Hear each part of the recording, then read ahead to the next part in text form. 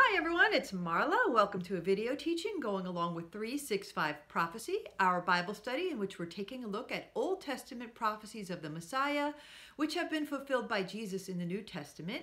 If you'd like to join us, you can just go to injesusname.net and subscribe, and you'll start getting all these teachings sent directly to your email inbox.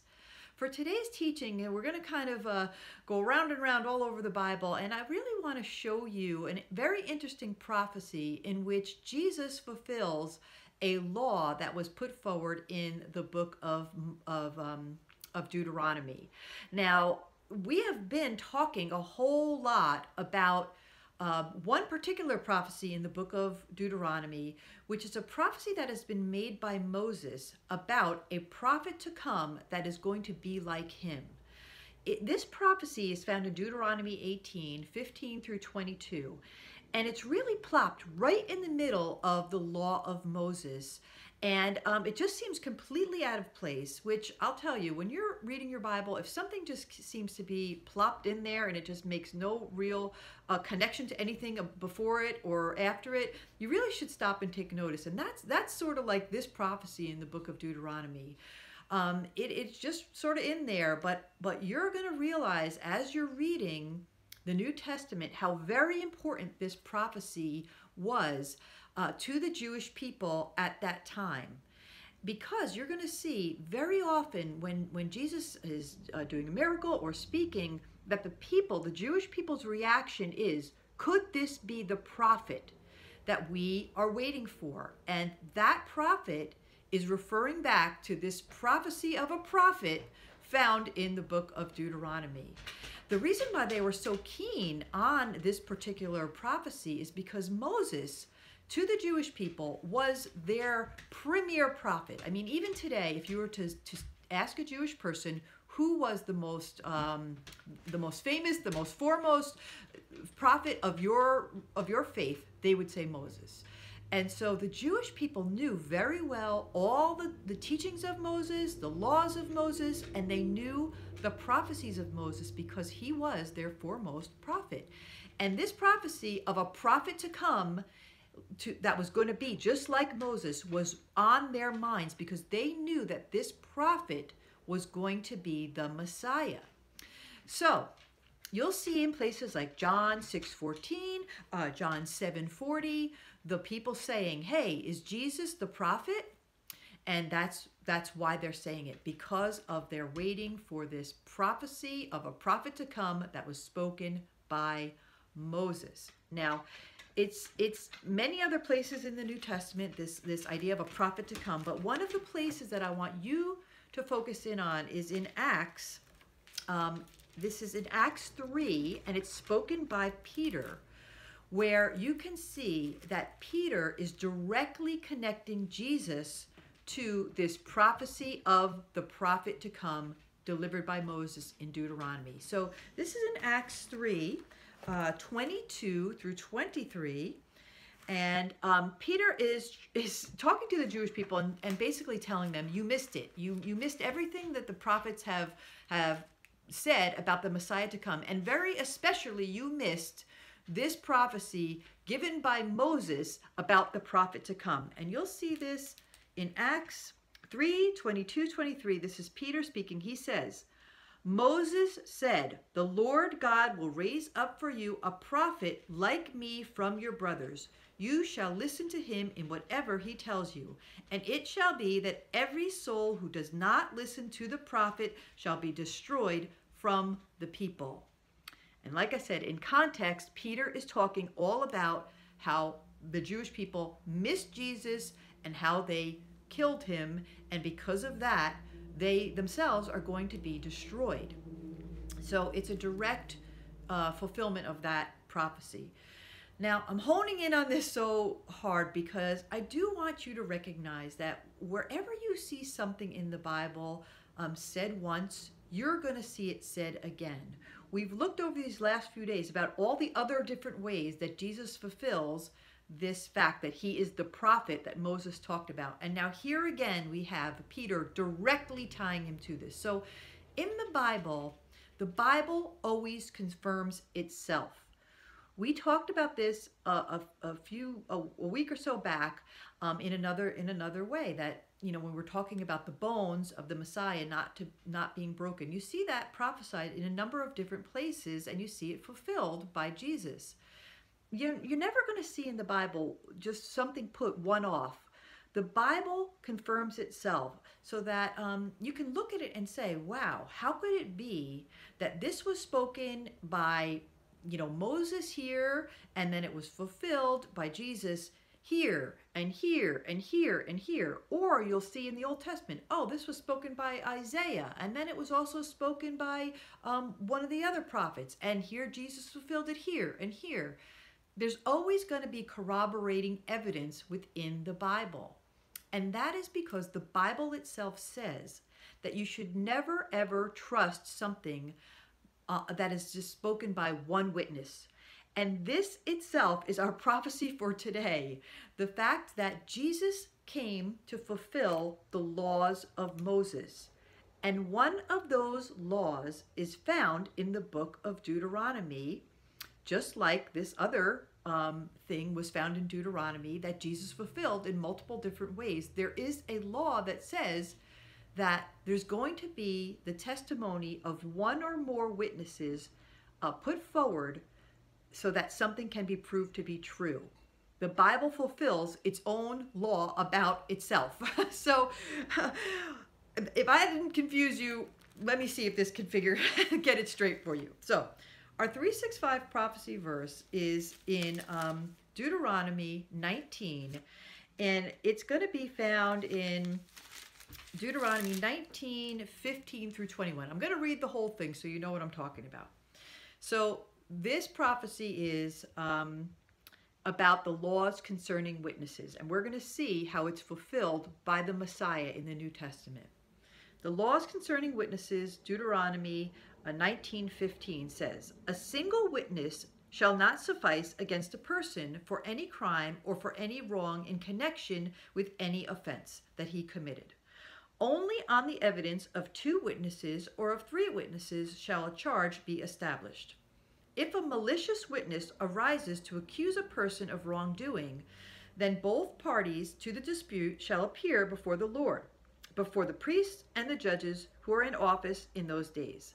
The judges shall inquire diligently, and if the witness is a false witness and has accused his brother falsely, then you shall do to him as he has meant to do to his brother. So you shall purge the evil from your midst.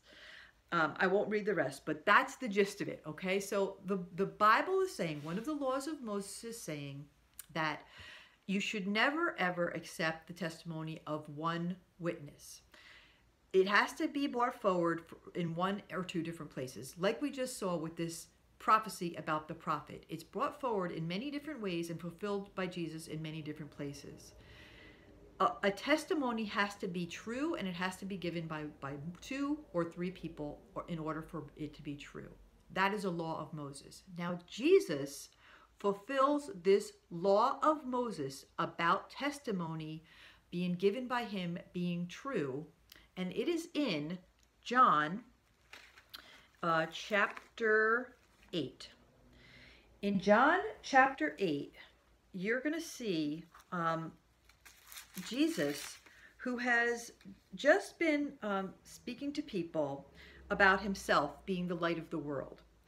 And they don't they don't believe him all right he I'll, I'll read it to you in john 8 17 and 18 it says this um, excuse me, in John uh, 8 12, it says this Again, Jesus spoke to them, saying, I am the light of the world. Whoever follows me will not walk in darkness, but will have the light of life.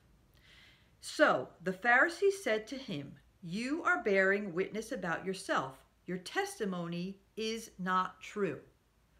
So the Pharisees are, are in here pointing to this law of Moses, saying, you can't come here and tell us just by you saying you one person saying you're the light of the world eh, that you can't say that because we need two or three witnesses to that and you are just saying that on yourself so you're false witness it's not true he's spake, speaking to them, saying, I am the light of the world. Whoever follows me will not walk in darkness, but will have the light of life. He's telling them that whoever follows him is not going to walk in darkness, not going to um, go to, to hell, basically. They're going to have the light of life. They're going to have eternal life if they follow him. And the Pharisees are saying, We don't believe you. You're just one person coming forward. Now, Jesus fulfills the law of Moses here, given in Deuteronomy, when he says in John 8 12 through 13 this. He follows up and says, I'm sorry, this is where he says it in uh, chapter 8, 17 and 18. He says, In your law it is written that the testimony of two people is true. I am the one who bears witness about myself, and the Father who sent me bears witness about me. They said to him, therefore, Where is your Father? Jesus answered, You know neither me nor my Father. If you knew me, you would also know my Father. These words he spoke in the treasury as he taught in the temple, but nobody arrested him because his hour had not yet come. So you can see Jesus here fulfilling this law of Moses that says that two or more people have to say something when he says that not only have I said this about myself, that I'm the way to eternal life, but my Father has said this. And you don't recognize it because you don't know my Father. and so Jesus is saying that two people has sworn to this, himself and his Father. This is a beautiful place within the scripture that you can see the Trinity part of the Trinity being spoken about. Jesus is saying that he and his Father are one. They agree on this thing, and, yet they're two separate people. So it's it's very cool because you know Jesus and his Father, one God, uh, uh along with the Holy Spirit, but they're two separate persons who can have um, a testimony for themselves. And of course, since they're one person, they agree on, on the fact that Jesus is the way to have eternal life. And so it's kind of a cool, kind of a mind bending, scrambling kind of a prophecy. But we know that Jesus came to fulfill every part of the law. That's, that's part of him being the Messiah. And so Jesus um, was fulfilling this prophecy about the fact that that testimonies had to be made by two or more people in order for a testimony to be true. Now, the really um, interesting and intriguing part about this, if you remember back to when I read that Deuteronomy passage, it said that if a person bears false witness about themselves against or, or false witness about somebody else, then the thing that they intended to happen to that somebody else is going to happen to them. So interestingly here, we, we recognize that the Pharisees did not believe Jesus and, and Jesus's father's testimony about himself. The testimony that said, if you don't believe in me, you're going to die and go to hell. And because they didn't believe, what did they do? They caused Jesus to pay the penalty for coming forward with one testimony, which in their minds was false. They killed him on the cross, which was the direct thing that Jesus you know you know that that that caused it so that people could have eternal life. So they didn't believe him when he said that if you if you believe in me you're going to have eternal life. And then they caused the penalty to happen for him bearing false witness which is the thing that caused people to have eternal life. And so their law sort of worked against them but worked for us um, you know, they thought he was bearing false witness, and so they exacted a penalty on him for bearing false witness.